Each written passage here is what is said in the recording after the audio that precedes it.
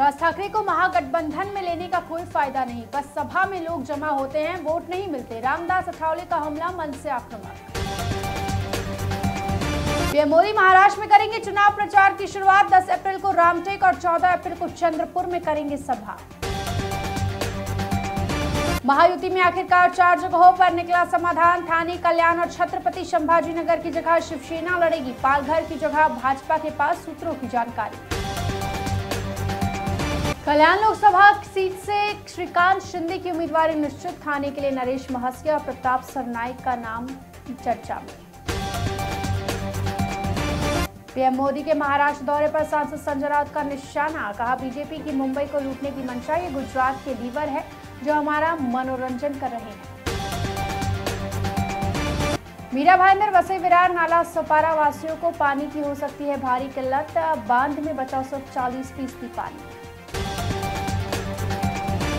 मुंबई के शिवाजी पार्क में उद्धव ठाकरे और राज ठाकरे ने एक ही दिन सभा करने के लिए बीएमसी से मांगी अनुमति। 17 मई को किसको मिलेगी अनुमति? इस पर सबकी नज़र। महाराष्ट्र के कई जिलों में बारिश का येलो अलर्ट। मुंबईकरों को अभी नहीं मिलेगी गर्मी से राहत। महाराष्ट्र की सियासत में आएगा बड़ा मोड़। प्रकाश अंबेडकर को समर्थन दे सकती है कांग्रेस। बोरीवली स्टेशन को मिलना चाहिए सबसे खराब स्टेशन का पुरस्कार। मुंबई वासियों ने स्थानीय स्टेशन पर साफ़ सफ़ाई की कमी और लगातार एक्सलेटर के बंद होने पर जताई नाराज़गी।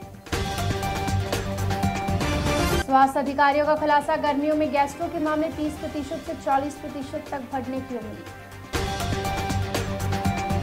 नवी मुंबई पुलिस ने सोमवार को एक पुलिस निरीक्षक और पाँच अन्य को कथित तौर पर खुद को मुंबई पुलिस कर्मी बताकर ठगने के आरोप में किया गिरफ़्तार। दो करोड़ रुपए वसूलने के आरोप।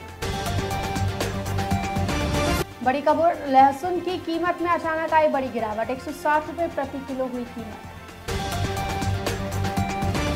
बीएमसी हुई मालामाल। एक साल में तीन हज़ार एक सौ छियानवे करोड़ रुपए का प्रॉपर्टी टैक्स वसूला।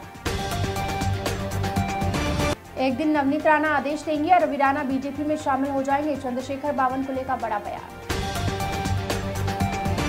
शादी का झूठा वादा करने के बाद महिला अभिनेत्री का यौन उत्पीड़न करने के आरोप में फ़िल्म निदेशक गिरफ़्तार, ओशीवाला पुलिस की कार्रवाई। बीजेपी नेता आशीष शर्मा ने उद्धव ठाकरे को दिया जवाब, कहा, ठाकरे के पेट्रोल का खर्च मैं उठाऊँगा, वो मालवनी आए और लोगों की हालत देखें।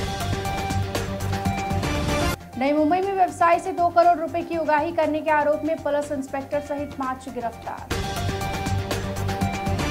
मुंबई पुलिस से पंगा लेना पड़ा महँगा बैंड्रा रिक्लेमेशन पर बाइक स्टंट करने वाले सात बाइकर अरेस्ट। हम इस साल लोकसभा में 16 सीटों पर चुनाव लड़ेंगे। एक नाथ शिंदे के नेता संजय सिरसाट का बयान। नकली आईपीएल टिकट बेचने वाले गिरोह का भंडाफोड़, मुंबई साइबर पुलिस ने गुजरात से सात लोगों को गिरफ़्तार किया। जाँच जारी। सायन आरोपी को बंद करने के लिए फैसला लगातार। तीसरी बार टाला गया। रेलवे को आशंका है कि यदि जल्द निर्णय नहीं लिया गया तो बड़ा हादसा हो सकता है।